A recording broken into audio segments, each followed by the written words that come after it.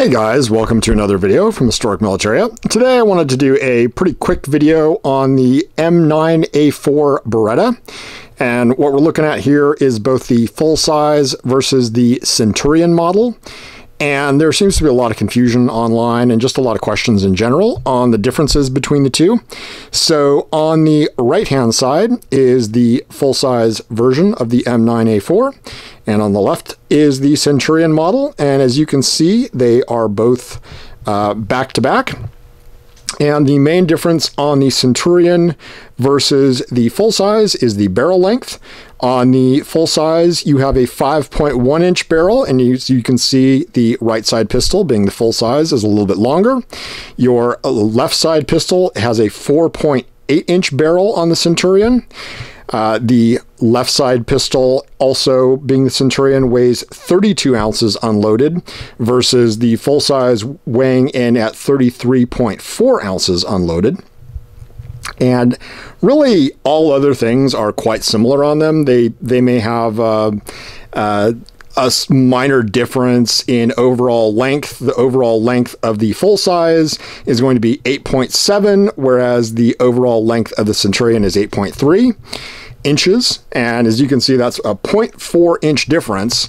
And it sort of illustrates uh, quite nicely here the difference in length. Uh, again, the right side, you're looking at the full size, left side, you're looking at the Centurion. Um, a, a, lot of folks don't know which one they want to get.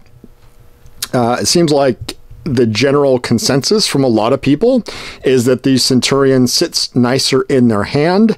Um, I, I really can't speak for you. I like both of them.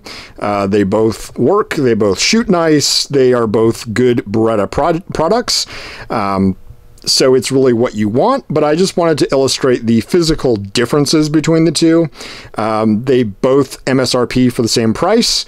They both come with the same amount of accessories and in the same packaging, that being the uh, baby poop brown, or I, am sorry, flat dark earth uh, uh, ammo cans.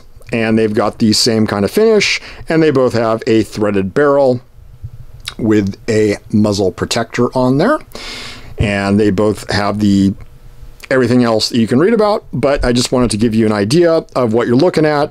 The grip lengths are going to both be the same, so they're both going to sit in the hand the same in terms of uh, basically the size in your hand. It's just some people find the Centurion to be a bit better balanced and not as muzzle heavy, whereas the full size kind of can be, being a little bit longer. Anyway, thanks for watching. Remember to like and subscribe. And we'll be doing more videos on all kinds of interesting and unusual militaria in the coming weeks and months. Thanks for watching.